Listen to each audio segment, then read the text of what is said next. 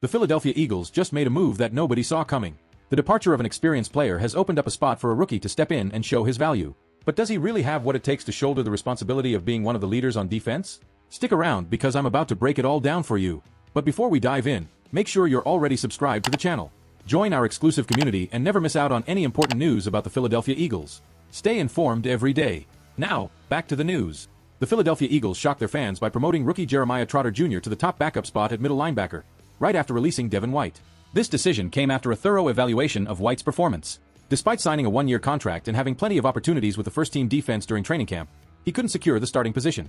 White, who was drafted by the Buccaneers in the first round of the 2019 draft, joined the Eagles aiming to make an impact, but ultimately fell behind in the competition with Nakobe Dean, who currently leads the team in tackles for loss.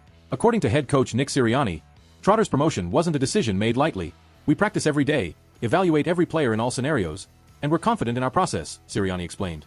The head coach also praised Devin White's professionalism during this transitional period and noted that White handled not earning the starting role with grace. He's a true professional, someone who's had a lot of success in this league and showed great character in dealing with this tough situation, added the coach. Now, with Trotter as Dean's primary backup, Sirianni is optimistic about the development of the linebacker group.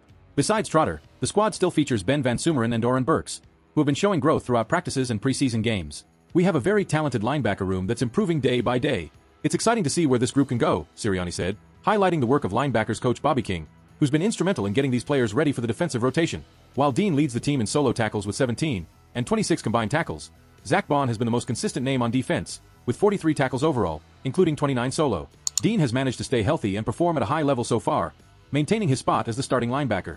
With Trotter stepping up as his immediate backup, the Eagles are showing they trust the depth and talent of their young players to keep the defense strong and competitive. So, will this promotion be a turning point in Trotter's development, or will he need more time to prove himself at the top level? One thing's for sure, the Philadelphia Eagles believe in the potential of their young talent and are not afraid to give them opportunities, even if that means parting ways with experienced veterans. Now, Philly fans, what do you think of the Eagles' decision to promote a rookie and release a veteran like Devin White? Do you think this move will strengthen the defense, or could it become a problem later in the season? Share your thoughts in the comments and join the discussion. And don't miss out. Check to see if you're subscribed to the channel and drop a like to become part of our exclusive community. Stay up to date with the latest and greatest news about the Philadelphia Eagles, and make sure to share this video with other die-hard Eagles fans. See you next time. Fly, Eagles, fly.